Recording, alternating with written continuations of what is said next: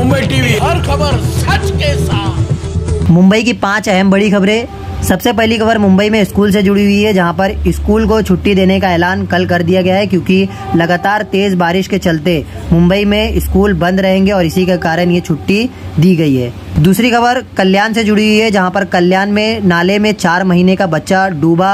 आपको बता दें, भारी बारिश के कारण मुंबई लोकल ट्रेन रुक गई थी और माता पिता उतर गए थे और बच्चे को गोद में लेकर कल्याण रेलवे स्टेशन की और चलने लगे इसी बीच। नहर पार करते समय एक दुर्भाग्यपूर्ण घटना घटी और ये घटने का वीडियो सोशल मीडिया पर वायरल भी हुआ है। तीसरी खबर, छत्रपति शिवाजी महाराज टर्मिनस से आपको बता दे C S M T station पर।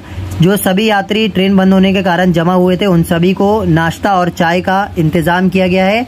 अब ये यात्रियों को, जो तमाम परेशानियों उस परेशानियों को जल्द से जल्द हल करने की कोशिश कर रही है प्रशासन। एक बार मुंबई के भांडुप से है, जहाँ पर भांडुप में एक पाँच महीने की बच्ची की मौत हो गई। आपको बता दें, ये मौत ग्राउंड प्लस पाँच के स्ट्रक्चर गिरने के कारण हुई है और साथ ही साथ ये स्लैब गिरने के कारण एक पाँच साल की बच्ची की मौत हो गई। पांचवी खबर, मुंबई में अगले पाँच दिनों तक भारी बारिश की चेतावनी दी है। आईएमडी ने और साथ ही साथ कहा है, लोग अपने घरों पर रहे। अगर ऑफ़िस जा रहे और कहीं फंस जा रहे तो वो यहाँ वहाँ ना भागे, क्योंकि जो भीड़ है, वो काफ़ी ज़्यादा हो जाती है और इसी भीड़ भाड़ के चक्कर में लोग और भी डर जाते हैं। तो आप लोग घरों पर रहे और अगर ज़्यादा बारिश होती है तो आप लोग घरों से बाहर ना निकलें।